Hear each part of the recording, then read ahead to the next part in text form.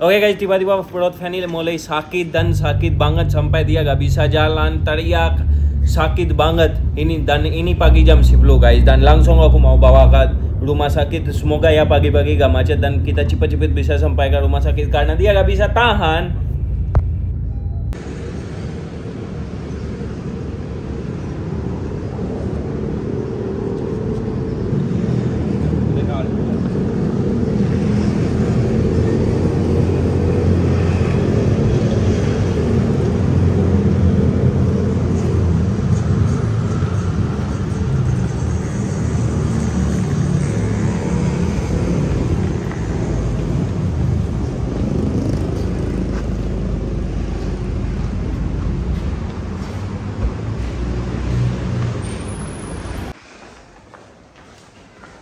Oke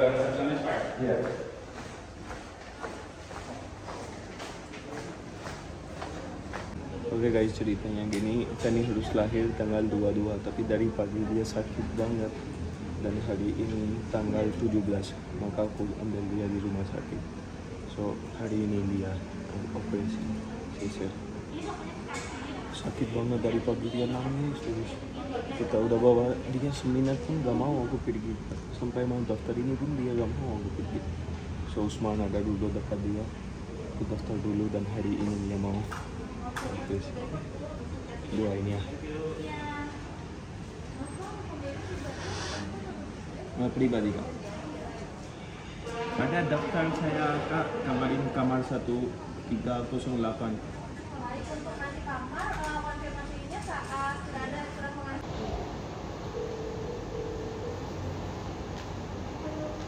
Nama saya kan?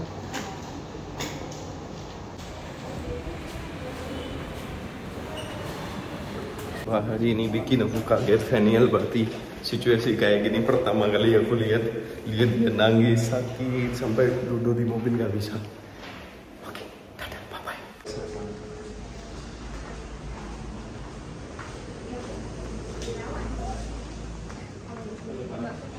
Mau bayar?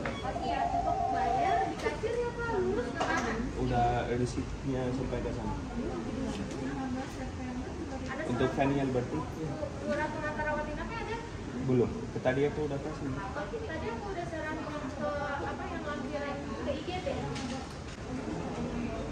Kita bayar dulu ya. Oke guys. Ini udah progresi.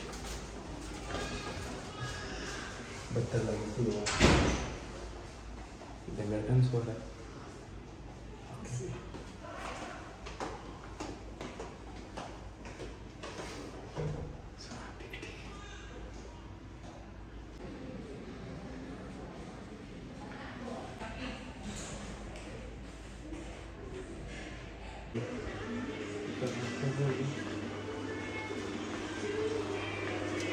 Alhamdulillah uh, udah lahir dengan selamat. Alhamdulillah hidup alamin anaknya ganteng banget.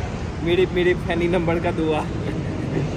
Bukan Akashi lagi nomor kedua, Fanny Alberti nomor kedua. Dan aku baru habis telepon ibu saya dan ibu saya bilang sebelum lakukan apa pun pergi dan kasih sedekah dulu.